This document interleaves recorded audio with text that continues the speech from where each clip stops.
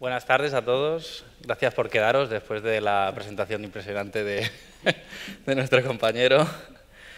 Eh, bueno, para empezar un poco con, la presentación, nos queríamos representar, gracias también por, tu presentación, Ana, y, simplemente eh, marcando en qué somos disruptores, ¿no? porque tal y como dice el título, pues, em, pues yo que vengo del mundo editorial, ahora mismo estoy trabajando desde hace un año en 24 Symbols, que es un servicio de suscripción de ebooks, una especie de Spotify, pero del, mundo editorial, o de Netflix, pero del mundo editorial. Y ahora mismo, pues viniendo del, mundo editorial, estoy un poco al margen, ¿no? porque estoy en una parte de retailer, pero como queda un poco marginal. Luego explicaremos por qué. Y Eloy.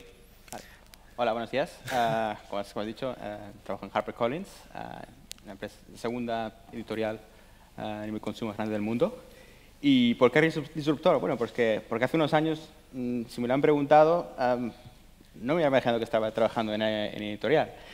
estaba calculando órbitas para satélites, estaba gestionando precios en American Express, estaba trabajando en gestión del cambio en energía y por, casualidad, uh, como diría Steve Jobs, también conectando los puntos, pues acabé en, en, la industria editorial. ¿no? Um, vamos a organizar un poco en el, este debate ¿no? en cuatro temas principales que tocan un poco todos los, uh, los temas de, de, disrupción. El primero es el uh, consumo del contenido. Después hablaremos un poco del cambio cultural um, que toda esta disrupción está llevando en la industria. Del valor del dato, como arma competitiva.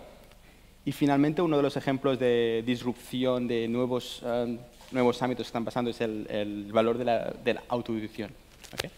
Um, entonces, empecemos con el, primer tema, que es el, consumo de contenido. Exacto. Alex, ¿cómo están cambiando las tendencias? Bueno, antes de, de, entrar directamente en el tema, os quería decir que como es un debate, eh, aunque al final vamos a hacer una, un apartado como todas las otras conferencias en la que podéis hacer preguntas, pues si creéis que hay algo ultra necesario que tenéis que interrumpir, levantar la mano y si os veo con el foco, pues os, daremos paso para complementar eh, nuestras explicaciones y nuestros comentarios. Bueno, hablando del cambio de tendencias de consumo, quizás antes de empezar ahí hay que ver un poco de dónde viene este cambio de tendencias de consumo hoy en día. Y es que, bueno, todos sabréis, esto es obvio, que hay un antes y un después de la irrupción de, los four horsemen ¿no? que se conocen, que son Amazon, Google, Apple y Facebook, en el mundo del entretenimiento y de la, y de la cultura en todos los ámbitos, no solo literario, editorial, sino música o, televisión, como hemos visto antes.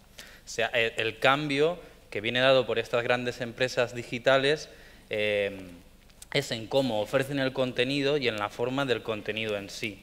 Entonces, este, este cambio de los contenidos, que antes eran pues, libros o eran historias habladas, me estoy tirando muy para atrás, eh, cambia nuestros hábitos de consumo, evidentemente.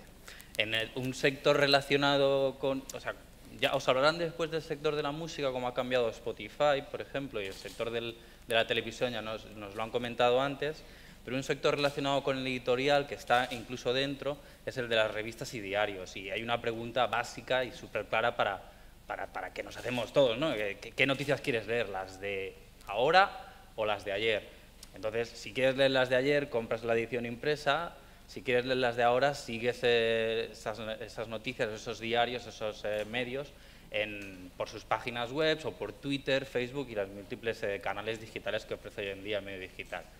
Es decir, el kiosco queda un poco apartado, el papel está ahí agonizando y el nuevo medio digital, que es muy activo en redes, que tiene un foco en la imagen, en el vídeo, los titulares, pues es muy potente y viralizable. Ejemplos, incluso aquí tenemos la revista Vice, eh, Playground, Huffington Post, ¿no? que han cambiado completamente eh, la industria y, eh, y bueno, adentrándonos más en el sector core editorial y yo pudiendo aportar la parte de lo que es el retailer, el vendedor, porque 24 mm, símbolos no deja de ser una plataforma, no es una editorial, es una plataforma de, lectura, que en el fondo es una tienda, ¿no? Pasa que una tienda con un modelo ilimitado. Pues eh, yo creo que el, el, modelo de suscripción, esa forma de acceder a un club y no acceder simplemente a un solo contenido, a una, a una comunidad de lectores que te proveen de nuevas lecturas, que te recomiendan, es un poco eh, el elemento disruptivo por la parte del vendedor que, que hoy en día está viviendo el sector editorial. El, en España tenemos 24 símbolos, tenemos la competencia que es Nubico, que forma parte de Planeta, tenemos un monstruo muy grande que se llama Kindle Unlimited, monstruo de buen sentido de la palabra, pero bueno, asusta. Y hay otros, eh, hay otros eh, players en Estados Unidos y en Rusia como Script, Bookmate. Dentro del modelo de suscripción, y ya acabo y te doy paso que me estoy enrollando mucho, eh, también hay que ver las diferencias y las diferencias para poder adaptarse y funcionar bien en el sector editorial, que es un sector clásico, muy establecido, con unos eh, players muy, muy definidos, el autor, el editor, el, agente de, literario, el distribuidor y el vendedor, em, pues hay que saber cómo entrar en, este, en, este, en esta estructura ya creada para, para, que seas bien recibido, ¿no? Y una de las cosas básicas es el modelo de liquidación. Yo recuerdo que al principio 24 símbolos y otros modelos de suscripción empezaron con un modelo que se pagaba por página. Que entonces, en función de las páginas que se leía de un libro, tú liquidabas al editor y por ende al lector pues un determinado eh, dinero. Hoy en día no, hoy en día pagamos por libro completado una vez se lee más allá del 10%. ¿Por qué? Porque los editores no sabían cómo comunicar a sus autores pues que es que un micropago, ¿no? Imagínate que en Follett recibiendo 50 céntimos porque se han leído 20 páginas de su libro en 24 símbolos. No tiene sentido. Entonces es muy importante conocer el sector para adaptarse a él y entrar en sus líneas de actuación y estructuras. Otra cuestión importante es la estrategia de recomendación literaria. Con 300.000 libros que tenemos en la plataforma no puedes creer no puedes pretender que la gente encuentre lo que busca, sino que tienes que dirigir un poco y dar valor a lo que tienes, mostrarlo, recomendarlo con blogs, con las estanterías que tenemos, bueno, mil y una cosas. Y la última, ya te doy paso, es que eh, en el mundo online es muy fácil decir que tienes una estrategia global y que es un servicio global que opera en todos los sitios, y es cierto, nosotros lo somos, pero eh, eso no quiere decir que, tengas que eh, ir a muerte, y perdonadme la expresión, en todos ellos, sino tienes que escoger muy bien en qué mercados tienes que eh, poner el foco, tu, tu, estrategia de marketing y en muchas ocasiones, a nosotros nos ha funcionado muy bien, conseguir partners locales, aunque seas global, pero partners locales que conocen ese mercado y que te van a ayudar a llegar eh, al a llegar a tu usuario de ese, de ese, sitio mucho más fácilmente. Por ejemplo, es lo que estamos haciendo ahora en, en, Alemania, que tenemos un partnership muy importante con la tercera operadora de telefonía de, de ese país, Movilcom de Vitel, y estamos adquiriendo a través de sus estrategias de comunicación, marketing y acciones eh, a lo, directamente al consumidor, pues eh, a raíz de 200 nuevos usuarios premium eh, al día, lo cual es un número fantástico para nosotros, estamos muy del lado del, publisher, mucho mejor que, que, nos lo explique nuestro compañero Luis sí, Gracias, Alex. Em, los editores, los editoriales, nos vemos como contadores de historias. Estamos aquí para contar historias. Y toda esta disrupción digital da oportunidades tremendas uh, de hacerlo a través de diferentes formatos, canales y otras redes de empresas. ¿no? Y os voy a dar ejemplo en cada uno de esas tres. ¿no? Um, vamos, hemos ido del libro físico al libro digital pero mucho más allá. por ejemplo, Juego de Tronos, ah, que publicamos en inglés, ah, tenemos una, una app, ah, Juego de Tronos, en el que el, lector puede ver un mapa eh, en el que eh, ve evolucionar todos los, diferentes personajes de, la historia. ¿no? en Tolkien, para El Señor de los Anillos, similar, tenemos muchos complementos de toda la historia, de todo el mundo de, de Tolkien, ¿no? la Tierra Media. Y el audio también. Ahora, el audio está creciendo muchísimo, ah, sobre todo en, en, Estados Unidos. Ah, un formato ah, en el que tenemos mucho, muy, mucho potencial. Vamos también a ir al vídeo, como comentaba antes en, la televisión, con, con, otras empresas también. ¿no? Y por ejemplo, ahora tenemos el, el, hemos hecho una promoción en anuncio de Navidad de uno de en Reino Unido, de uno de los supermercados más grandes de allí. hemos visto un gato eh, que era un carácter de un libro infantil muy famoso en el Reino Unido, ¿no? Y sale el gato allí em, em, em, haciendo, haciendo varias, varias travesuras. y eso nos ha generado muchas ventas em, en, libros relacionados a esos. Uh, formatos. Después canales, uh, canales y países, ¿no? Porque eso te, te permite uh, distribuir libros alrededor del mundo mucho más rápido.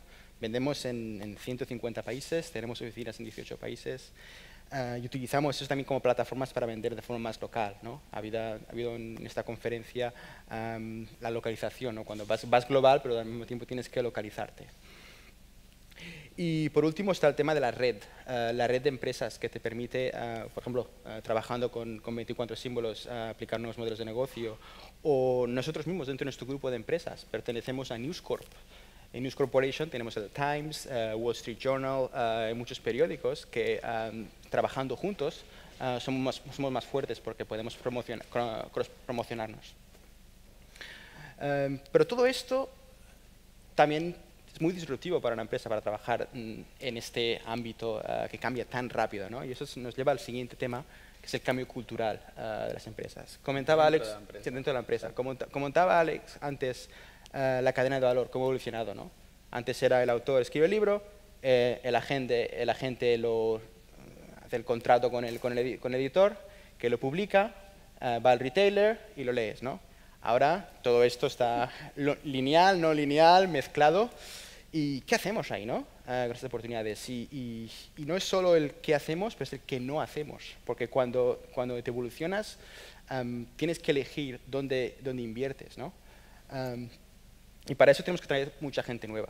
También se ha hablado en esta conferencia de, del cambio cultural uh, de las empresas. Ahora en el Consejo Ejecutivo, por ejemplo, en el que estoy en el, en el Reino Unido, tenemos una iniciativa de el valor, los valores de la empresa.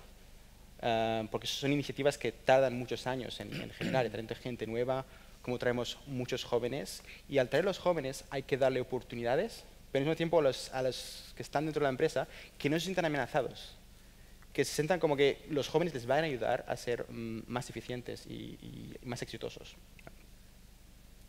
Um, y claro, de ahí vamos a, otras funciones, ¿no? como la inversión en marketing, la inversión en pricing, en la, en la, en la que estoy yo, y en data science, ¿no? que hablaremos después con el dato.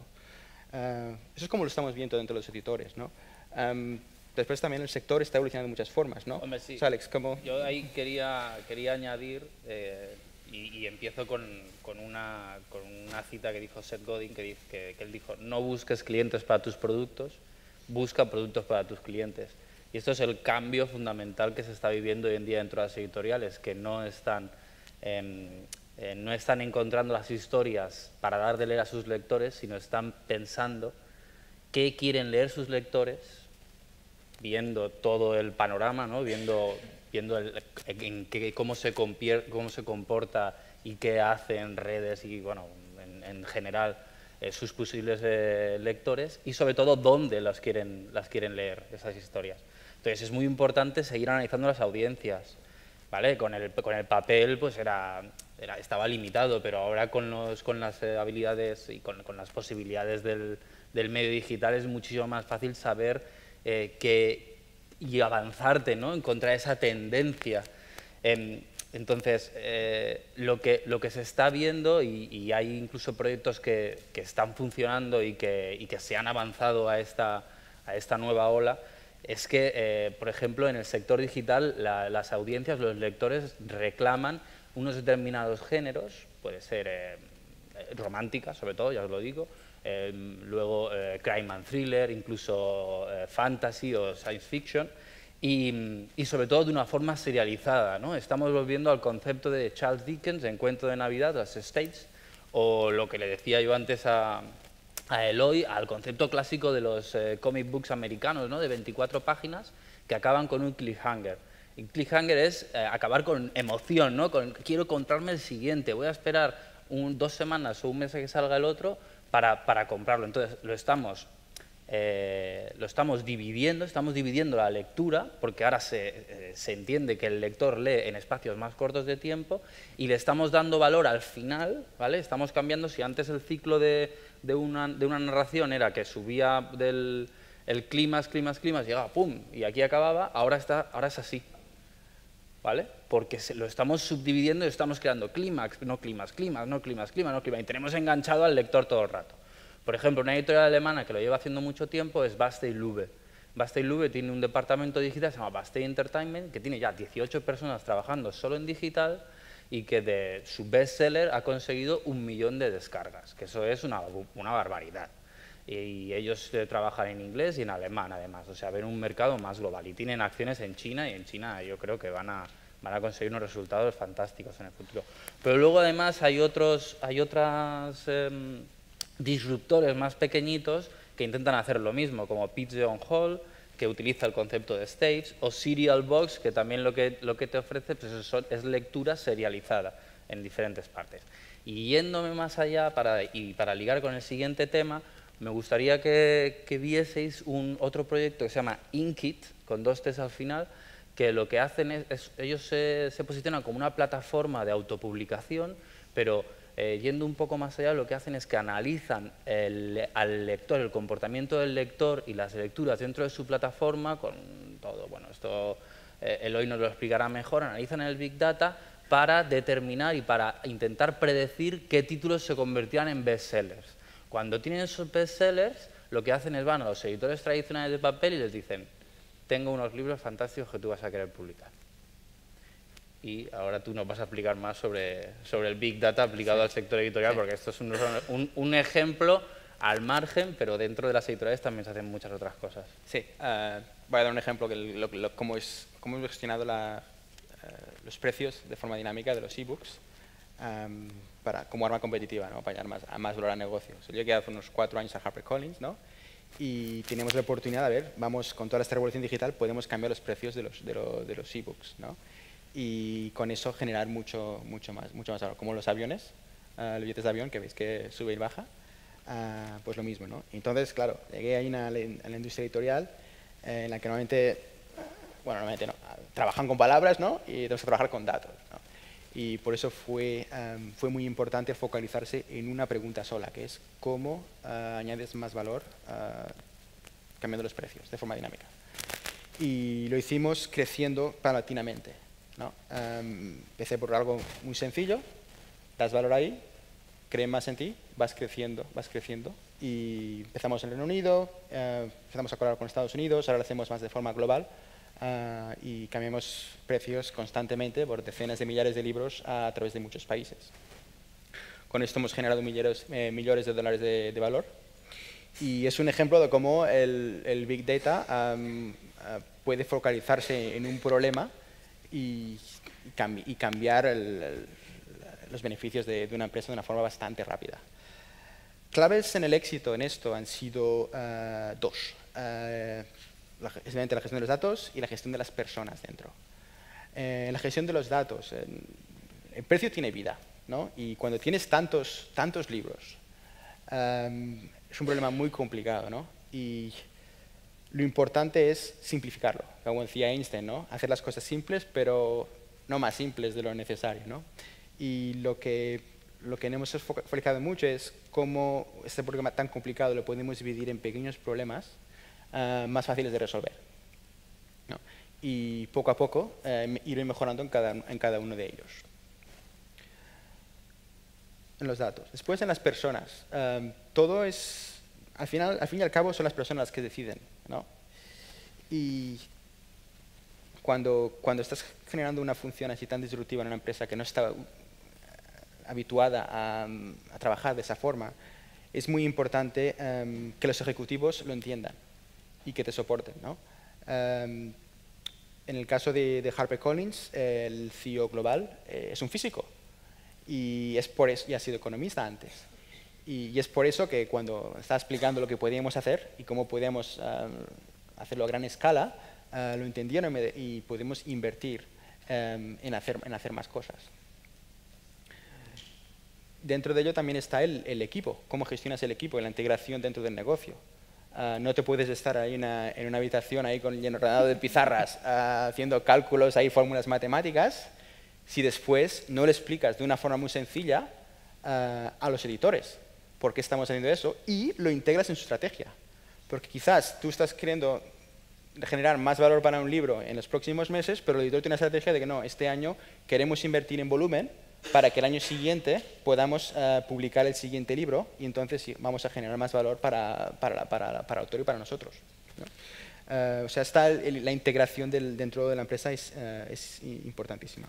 Me parece, me parece importante remarcar el, el, papel y el valor de que cuando hablamos de Big Data no simplemente estamos hablando de Big Data aplicado al medio digital, sino que el, dato, ¿no? la importancia de conocer, de, saber el comportamiento de, y, y, con ese, y con ese conocimiento avanzarte, se puede aplicar no solo al medio digital, sino, sino a la edición tradicional en papel para, pues para aumentar o, o, hacer que, que, suban enormemente las ventas y la rentabilidad de muchos productos que salen al mercado en un momento eh, que no es el correcto y con un precio no es el correcto y sin analizar bien la, audiencia a la, que, a la que va dirigido. Entonces, eh, para eso hay que acomodar y hay que tener una comunicación muy, muy fluida entre, en la editorial, entre los departamentos clásicos y los editores. Yo he trabajado como editor en una editorial y, y cuando me hablaban hace un par o tres de años de este tipo de cosas, era como, ¿qué me estás contando? Esto, a ver, pero aquí hay falta de ortografía, esta portada está bien diseñada, ¿o qué? Claro, el, uso de todas estas herramientas se ha de comunicar internamente en, las empresas, en empresas, tan tradicionales como el sector editorial, para que al final todos trabajemos en equipo y salga, y salga adelante. Esto es algo que eh, HarperCollins y otras editoriales grandes eh, están haciendo y de forma completamente mm, autónoma, ¿no? También por ellos, por ellos mismos, eso es, eso es genial.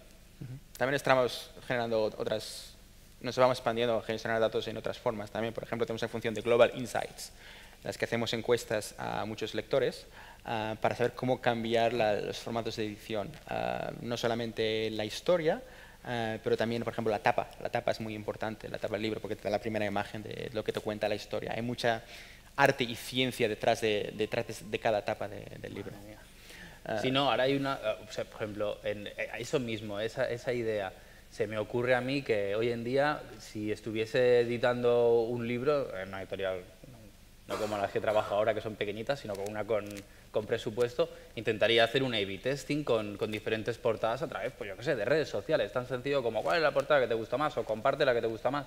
Y entonces sabría qué portada es la que tiene más impacto en mi, en mi, en mi medio digital y es la que acabaría escogiendo para, para llevarla al, al, mercado impreso, en el que no puede salir con dos portadas porque no, no existe. ¿vale? Entonces, eh, posibilidades hay infinitas. Desde, por os voy a explicar también, por ejemplo, desde 24 symbols, el dato es, mm, es, es, una herramienta eh, ultra, ultra útil, ya no solo para medir nuestras propias acciones de marketing y para modificar nuestra plataforma, para mover los botoncitos y, mm, y este tipo de cosas que son tan comunes en, una, en un servicio digital como el nuestro, sino para aportar valor al hecho de convencer a los editores de que pongan su contenido dentro de nuestra plataforma. Y me explico. En un primer momento los servicios de suscripción digital, eh, sobre todo en el mundo del libro, eran vistos por los editores y por los editores grandes, sobre todo, como una amenaza, como una competición directa contra la venta del libro digital físico en único. ¿Por qué? Porque si nosotros ofrecemos lecturas ilimitadas por 8,99 al mes, y un ebook suele costar de media entre 5 y 9 euros, ¿sabes? Los editores argumentaban, es que está perdiendo valor mi contenido. Entonces nosotros lo que hacemos, aparte de explicarles que nosotros no vendemos libros, sino que simplemente los prestamos y de que estamos vendiendo un servicio más allá de, un ebook en concreto, lo que hacemos es que les, les decimos, y en un futuro, les, ahora les estamos dando ya métricas y les estamos dando estadísticas, pero en un futuro lo que queremos hacer es proporcionarles eh, la, posibilidad de tener informes de las lecturas y el comportamiento de las lecturas de sus libros dentro de nuestra plataforma. Es decir, en qué momento los usuarios, cuántos usuarios han leído un libro determinado, en qué momento lo han leído más rápido, en qué momento más lento, en qué momento lo han dejado de leer, em, em, qué capítulo no les ha gustado, qué capítulo han compartido, qué capítulo... ¿Entendéis? Entonces, esto les va a dar una visión eh, mucho mayor de lo que es de lo que, de lo que sus lectores entienden eh, o, cómo ven sus, eh, sus, productos, sus libros. bueno, para no enrollarnos más con el Big Data, porque es un tema que podríamos estar aquí hablando horas, horas y horas, y dejaros tiempo luego a hacer una, unas, preguntas. Quizás pasamos al último tema, que es, como que es el de la autoedición, que es, eh, digamos, como un ejemplo de lo que el sector digital, eh, o sea, un ejemplo práctico de lo que el, mundo digital ha, llevado al mundo de la edición. ¿no? la, autoedición, que en un principio eh, se consideró como marginal del en el mundo editorial, porque los editores, que somos muy así, muy, muy chulillos, ¿no? pues decimos, decían, eh, pues un, libro autoeditado no es un libro, sino un documento porque no ha sido editado por un editor. ¿no? Bueno, completamente rebatible porque para mí cualquier historia, cualquier contenido se puede considerar un libro. En cualquier caso, hoy en día estamos hablando de, unas cifras, de, mm, os las digo así al vuelo para que os hagáis un caso de lo que representa. En, en 2012 fueron 391.000 títulos en Estados Unidos los autopublicados por autores indies. En 2013 llegó a 460.000 títulos. Un dato muy importante es que en, en, UK se hizo una encuesta en 2014 y salió que el 53% de los consumidores sabían, entendían lo que era un libro autopublicado, no se confundían. Y, es más, el dato súper eh, relevante es que un 80% consideraban que la calidad de estos libros no era mala, no era inferior a la de los otros, sino que era diferente, que eran otro tipo de libros. Eh, Amazon, que no hemos hablado mucho de ella, en 2014 Amazon tenía el 67% del mercado de ebooks en Estados Unidos. De esos, el 33% eran indies. En España, los datos son más pequeñitos. Siempre estamos un poquito más para atrás. Pero en 2014, los ebooks de las editoriales tradicionales solo representan un 5% del mercado. Aún así es un 37,1% más que en 2013, lo cual nos indica que los editores y el sector editorial español se está intentando poner las pilas en el sector digital. Pero de los 146.000 mm, títulos publicados en digital en Amazon en 2015, 101.000 eran autopublicados, que vienen del Kindle Direct Publishing, y solo 45.000 de las editoriales tradicionales. Es decir, la autoedición tiene algo que decir hoy en día, ¿no? en, el, sector editorial. Y en el sector editorial esto lo, lo veí al principio, autoedición, como, decías, eh, pero somos nosotros los que hacemos, ¿no? Pero qué bonito es, qué bonito es que, que todo el mundo pueda escribir, ¿no? había antes un, alguien que hablaba de blogs y tal, eh, ¿y por qué no? Dar la oportunidad a la gente a expresarse, ¿no? Y, y, esto es un test también para, para las editoriales, ¿no? ¿Qué valor añadís a la cadena? porque si todo el mundo puede escribir, todo el mundo puede publicar.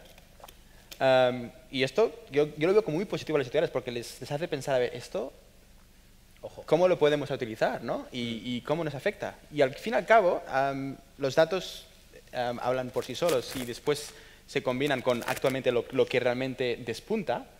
Sé que son los, los, las editoriales las que realmente lo, lo, llevan a otro nivel. ¿no? Y así es porque las editoriales lo ven esto como un vivero de, generar contenido, ¿no?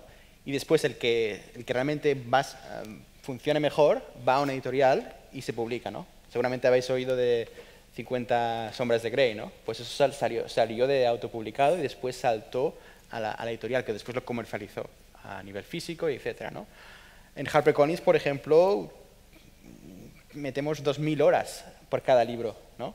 Es un servicio añadido que se añade. O sea, yo creo que una, una, de las mejores formas de industria es que te, te fuercen a demostrar uh, cómo añades el valor. ¿no? Por eso lo veo de una forma muy positiva. Um, y ya casi para... Um, en 24 symbols, para volver, yo siempre he venido a hablar de mi libro. Nunca mejor dicho. Eh, para daros un dato, y, y, tampoco quiero caer en el exceso de datos, pero el, el libro más leído aunque no somos una plataforma de autopublicados y tenemos muy poquitos autores, desde el principio entró Fernando Trujillo con la Biblia de los Caídos. Pues acumula 19.800 lecturas. Es mucho. 180 comentarios. Hacer un comentario nos cuesta mucho, sobre todo sobre un libro, porque, ¿qué voy a decir que el autor no ha dicho? 180 y 1700 me gusta, que son unos datos bastante más altos que los de otros libros pues con autores mucho más conocidos o de editoriales súper tradicionales, súper conocidas como Anagrama, pueden ser Salamandra, Roca y Ediciones B, imagínate. Pero vamos, que sí, em, concluyendo. Sí, concluyendo. Y bueno, distribución digital nos da muchísimas oportunidades y retos, y tenemos que, tenemos que afrontarlos con, ah, con positivismo ¿no? con, y, sin miedo. Sin miedo. Um, ahora estamos más o menos 25-30% de uh, nivel digital en los mercados anglosajones, en España un poquito menos, bastante menos. Uh, pero digo que esto está aquí, está aquí para quedarse. Hay diferentes transiciones, está aquí para quedarse y para evolucionar. Y la, ¿quién, quién, quién, sabe más que evolución que Darwin, no? Uh, Darwin nos decía, um, no son los más fuertes ni los más listos los que evolucionan y los que eh, tienen suceso, sino los, que, los más adaptables. Y para eso el ser adaptable, el, el, el recibir el, cambio con, energía, con, um, con, querer hacerlo bien, eh, es importantísimo. Es primer, primer mensaje importante. Y el segundo es el valor del dato. Um, um, se ha hablado hoy por la mañana de... Se está pasando de digitalización a datificación. y también lo, oigo en, cuando trabajo en Londres, lo oigo por empresas financieras. Que están moviendo el digi digital al back office y el data al front office. Uh, los datos nos van a inundar, nos están inundando ya. Um, en 24 meses, los próximos 24 meses se van a generar más datos que en toda la historia. ¿no? Entonces, el dato ahora es, se ha transformado en un arma competitiva para añadir valor pero muy pronto va a ser un requisito básico para poder competir. Va a ser como la electricidad. Y quien no lo tenga, es que no va a, ni, ni, a, ni, a, poder um, entrar en el juego. ¿no? Y, y, eso es muy, muy excitante, sobre todo para, para disruptores sí, como, como, nosotros. Está claro que el cambio no es una amenaza, sino es una oportunidad. Y bueno, lo demuestran lo que os hemos explicado hoy. Bueno, pues... Esto finalizamos. Muchísimas gracias, Eloy y Alex, por vuestra conversación en la que habéis introducido tantos elementos disruptivos. No, si, eh, vamos un poquito justos de tiempo y quería ser respetuosa con el horario. Si queréis tiempo para una sola pregunta y luego, si no, las que queden, que seguro que quedarán a la salida, seguro que, que Eloy y Alex se prestan. Pero vamos, una, una única pregunta para, para aportar un poquito al debate. Sí, por favor. Hacernos callar.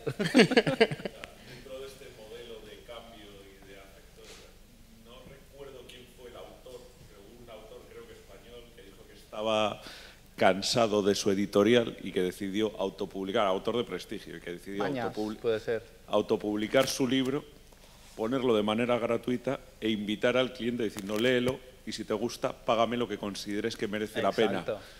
Y creo recordar que dijo que le estaban pagando de promedio por encima de 30 dólares el sí, libro sí. En, en, digital. No sé eso si las editoriales se lo han planteado como modelo de negocio, que nos facilitaría mucho la vida a los que nos gusta leer y nos sale bueno, a precio de oro. Vale, es, es un modelo de, de precios que se ha probado en, en, varias, en varias industrias ¿no? y no, no acaba de, de despegar, por eso hay, hay dudas en eso, pero es probar cosas y fallar y fallar y probar y, y, y cuando funcione, pues a, a, aplicarlo. No lo vemos como algo que, que esté, que esté um, despuntando. Tenemos autores, Cuero, por ejemplo, en el HarperCollins, tal, que, que también, bueno, que, que, lean los autores, ¿no? Queremos, los, los, los, lectores, queremos que lean. Y hay que tener un buen balance ¿no? en eso. Es lo, y para eso 24 sí, símbolos. Sí, no, yo, yo, creo que al, este cambio se va a dar como muchos de los otros cambios que va a empezar con los eh, servicios o con las empresas que están más marginales o que pueden experimentar más, no las clásicas, y ya hay cosas parecidas incluso que van más allá, como por ejemplo la plataforma Lectu te permite comprar libros, que es de Gigamesh, te permite comprar libros y cómics con el pago social, que lo llama, que es simplemente compartiéndolo en redes. Y la revista de cómics eh, que se fundó después del, bueno, del problema con el jueves, eh, Orgullo y Satisfacción, tú puedes suscribirte por seis o un año, por seis meses o un año y pagas un mínimo y en adelante, es decir, el mínimo son nueve euros y en adelante lo que quieras. Incluso a mí me han, me han llegado a decir uno de los fundadores que en sus primeros meses de vida les llegaron a pagar mil euros por la suscripción a seis meses, imagínate. Pero todo esto con, con, con tiempo llegará, llegará a HarperCollins. El, futuro, el, futuro, el futuro lo dirá. Sí. Muy bien. Pues nada, cerramos así este bloque. Muchísimas gracias, Eloy, Alex. Empresas digitales eh, es en cómo ofrecen el contenido y en la forma del contenido en sí. Entonces, este, este cambio de los contenidos, que antes eran pues, libros o eran historias habladas, me estoy tirando muy para atrás, eh, cambia nuestros hábitos de consumo, evidentemente. En un sector relacionado con... O sea, ya os hablarán después del sector de la música, cómo ha cambiado Spotify, por ejemplo, y el sector de la televisión ya nos, lo han comentado antes, pero un sector relacionado con el editorial que está incluso dentro es el de las revistas y diarios. Y hay una pregunta básica y súper clara para, para, para, que nos hacemos todos, ¿no? ¿Qué, ¿Qué, noticias quieres leer? ¿Las de ahora o las de ayer? Entonces, si quieres leer las de ayer, si creéis que hay algo ultra necesario que tenéis que interrumpir, levantar la mano y si os veo con el foco, pues os, daremos paso para complementar eh, nuestras explicaciones y nuestro, nuestros comentarios. Bueno, hablando del cambio de tendencias de consumo, quizás antes de empezar ahí hay que ver un poco de dónde viene ¿no? este cambio de tendencias de consumo hoy en día. Y es que, bueno, todos sabréis, esto es obvio, que hay un antes y un después de la irrupción de los four horsemen, ¿no? que se conocen, que son Amazon, Google, Apple y Facebook, en el mundo del entretenimiento y de la, y de la cultura en todos los ámbitos, no solo literario, editorial, sino música o, o televisión, como hemos visto antes. O sea, el, el cambio que viene dado por estas grandes... Debate ¿no? en cuatro temas principales que tocan un poco todos los, uh, los temas de, de, disrupción. El primero es el uh, consumo del contenido, después hablaremos un poco del cambio cultural um, que toda esta disrupción está llevando en la industria, del valor del dato como arma competitiva y finalmente uno de los ejemplos de disrupción de nuevos, um, nuevos ámbitos que están pasando es el, el valor de la, de la autoedición. ¿okay? Um, entonces, empecemos con el, el, primer tema, que es el, el consumo de contenido. Exacto. O sea, Alex, ¿cómo están cambiando las tendencias? Bueno, antes de, de, entrar directamente en el tema, os quería decir que como es un debate, eh, aunque al final vamos a hacer una, un apartado como todas las otras conferencias en la que podéis hacer preguntas, pues una parte de retailer, pero como queda un poco marginal, luego explicaremos por qué. Y Eloy. Hola, buenos días. Uh, como, como, he dicho, uh, trabajo en HarperCollins. Uh, la empresa, segunda editorial uh, a nivel consumo más grande del mundo.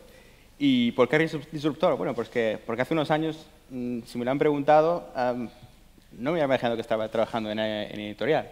Um, estaba calculando órbitas para satélites, um, estaba gestionando precios en American Express, estaba trabajando en gestión del cambio en energía y por, casualidad, uh, como diría Steve Jobs, también conectando los puntos, pues acabé en, en, en la industria editorial. ¿no? Um, vamos a organizar un poco en el... Este... Buenas tardes a todos. Gracias por quedaros después de la presentación impresionante de, nuestro compañero. Eh, bueno, para empezar un poco con, la presentación, nos queríamos representar Gracias también por, tu presentación, Ana. Y, y, simplemente eh, marcando en qué somos disruptores, ¿no? porque tal y como dice el título, pues, eh, pues yo que vengo del mundo editorial, ahora mismo estoy trabajando desde hace un año en 24 Symbols, que es un servicio de suscripción de ebooks, una especie de Spotify, pero del, mundo editorial, o de Netflix, pero del mundo editorial y ahora mismo, pues viniendo del, del, mundo editorial, estoy un poco al margen, ¿no? porque estoy